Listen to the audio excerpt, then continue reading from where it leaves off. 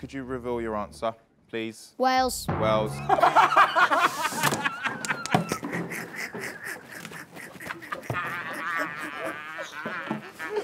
He's a bad boy.